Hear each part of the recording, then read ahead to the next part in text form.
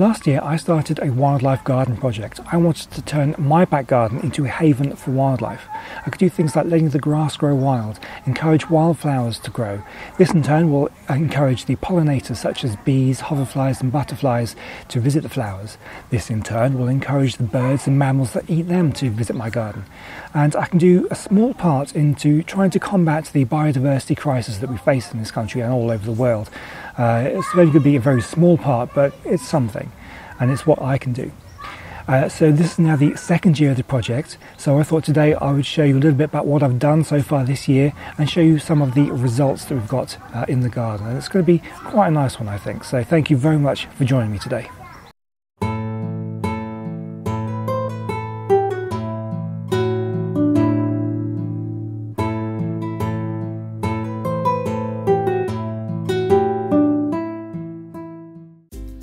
So this is where we start in early summer 2020. I've done a little bit of work with the grass. You may be able to see that I've cut the grass short but left three areas to grow longer. These areas I'll leave to grow wild and see what turns up. I've also cleared a couple of areas by the fence where some brambles were growing. I've got loads of bramble on the other side of my garden so I didn't need any more there. So as well as leaving areas of the lawn to grow naturally, I'm also going to give it a bit of a helping hand by planting some native wildflower seeds in the lawn. I've got my tools, seeds and peat-free compost ready.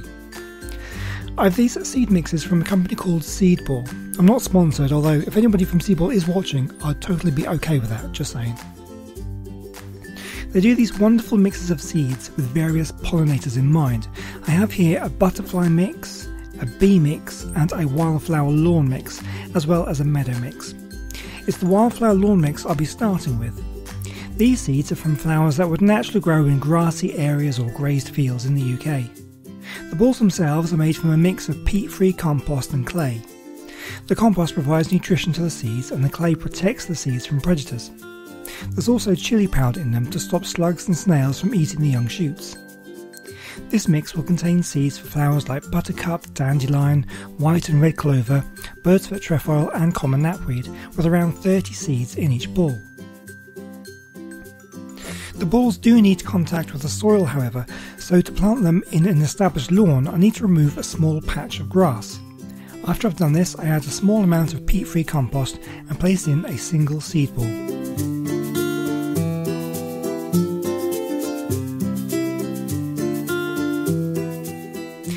Started doing this and digging out multiple patches, my original intention was to dig regular holes in 10 lines by 10 rows, thereby digging out 100 holes for the 100 seeds in the packet.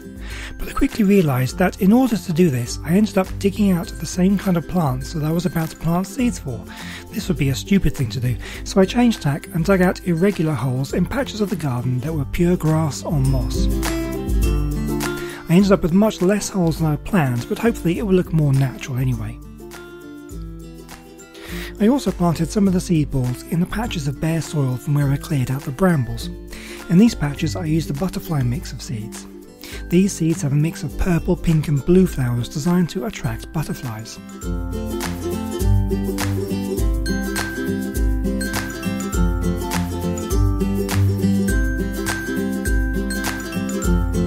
These seed balls need to be watered well to break down the clay. And now, I guess we wait.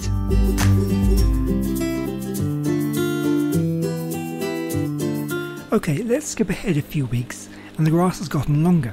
It's time to get the lawnmower out and re-establish the areas of short grass which will really make the longer areas stand out.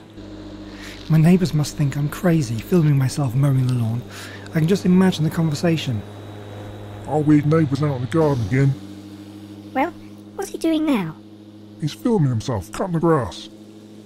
Yeah, that sounds about right.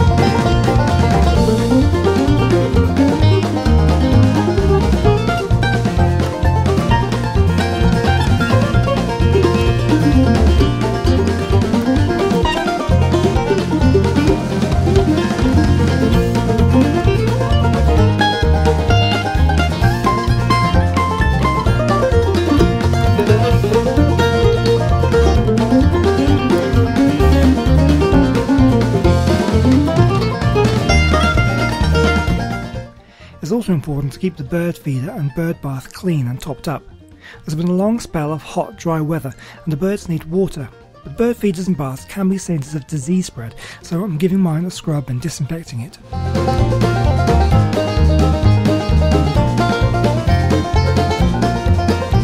Wait for it to dry, fill it up with fresh water, and then top up the food.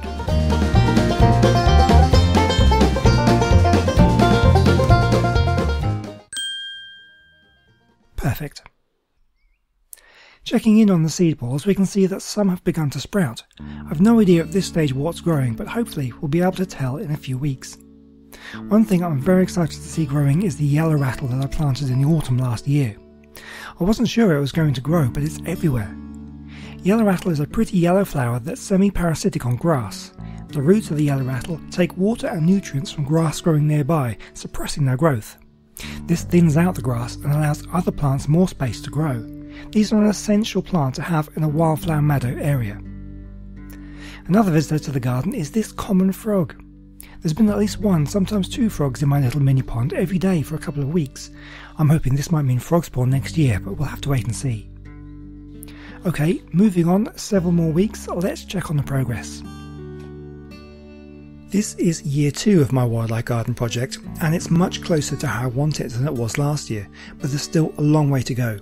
Making wildlife garden can take years and is a lot of work, but when you start to see the flowers bloom and the insect life buzzing around, it's definitely worth it. Let me show you some of the highlights. This is a female red-tailed bumblebee enjoying the pretty purple flowers of a thistle. Just to give you an idea of the scale, this thistle plant is almost as tall as I am.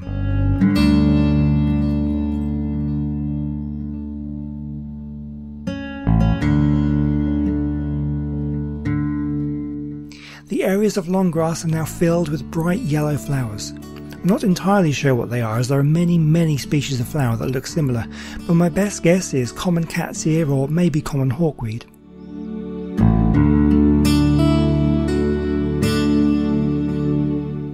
Here's some more, mixed in with some oxeye daisies. I'm not the only one enjoying these flowers, this male thick-legged flower beetle is too.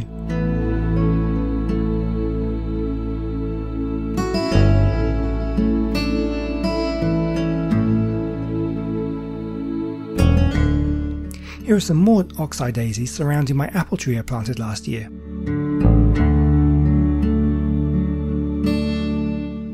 And behind the apple tree you can see some red valerian.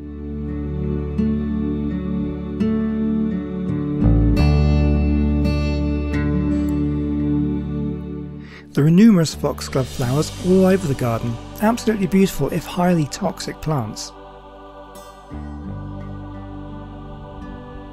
But for the second year running, I have some bee orchids growing right on the boundary between the long and short grass. I love this flower. Hopefully they'll become a regular feature in the garden. I really hope they spread and I'll see even more next year. Another pretty flower growing amongst the grass is this dotted loosestrife. It's fairly small now, but it can grow up to 1 metre tall, but it can take up to 5 years to reach this height. This area of the garden is where I planted lots of wildflower seeds last year.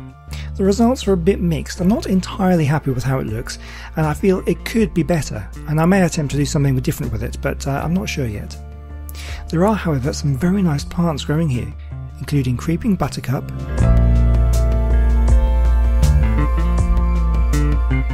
red campion,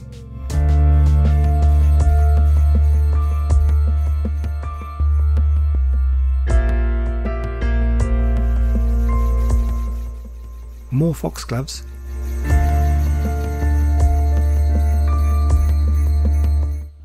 yarrow,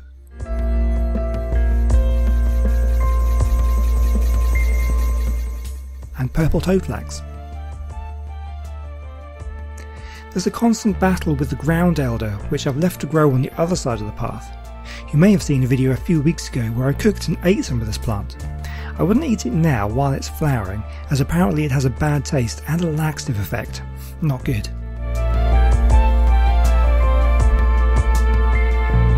This part of the garden I still need to figure out what to do with. It's shady and the ground elder currently dominates everything, so this will be a task for much later in the year or maybe early next. Also threatening to get out of control is this bindweed. Again, I'm continually pulling it up, but it grows back very quickly. It does have this amazing bell-shaped flower which is very popular with the bees, so I don't mind having some growing, I just don't want it choking the other plants. Checking the area where I planted the seed balls earlier in the video, there's been a lot of growth. The tall plants at the back are sunflowers I planted, and I'm looking forward to seeing them bloom.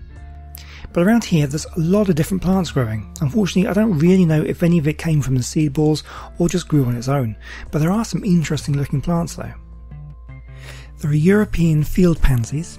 I've seen these grow in other parts of the garden, so these didn't come from seed balls and are a naturally occurring flower, which I don't mind at all. They're very pretty and they are native, so they are most welcome.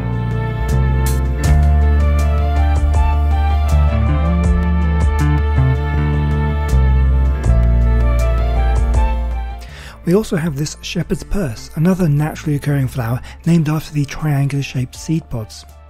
After taking a closer look, I don't think any of these plants come from seed balls, which usually take quite some time to flower, and I might not see much results until next year. Lastly, a quick look at the nettle patch. Most people would pull these up as soon as possible, but nettles play host to such a diverse range of life. Today I want to draw your attention to the abundance of ladybirds in all stages of life, from larvae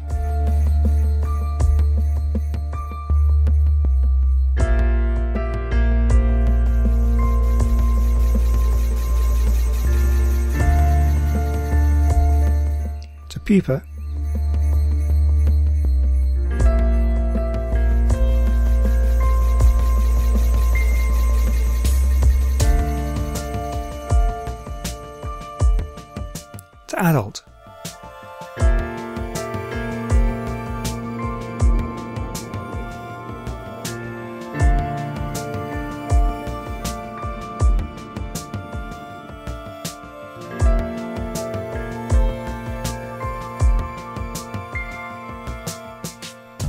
Why are there so many ladybirds here?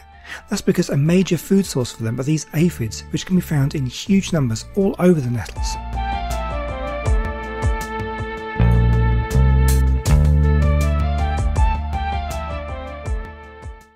Well, thank you for joining me for a look around my garden. I hope you enjoyed it. Um, let me know in the comments section what you've got growing in your garden. What kind of flowers and insects do you see there? I'm really interested to find out what other people have. So if you enjoyed the video, please do like it and subscribe to the channel for more content like this one. So once again, thank you for watching this video and I'll see you next time. Goodbye and that in turn will encourage the birds and mammals that will eat them. And I could have some kind of biodiversity crisis. What is going on?